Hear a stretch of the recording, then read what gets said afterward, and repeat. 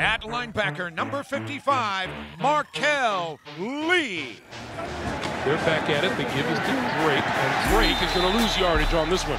Corralled by Marquel Lee, the linebacker out of Wake Forest.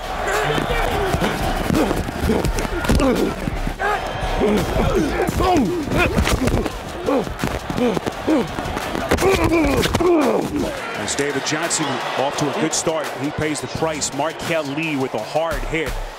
Second down and eight, Mayfield from the gun. And the pass is incomplete, popped away from Landry on a hit from Marquel Lee.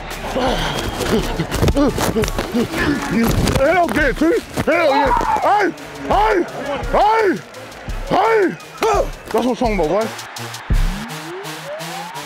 Third and seven, Jackson gets rid of it with pressure coming from behind, and Marquel Lee got a hand on that one. And here is Melvin Gordon, and Gordon is stopped by Marquel Lee. Yeah. Hey, Foss, I like how you playing, boy. Hey, Foss, hey, Foss, I like how you playing, boy. Well, they know you catch the ball.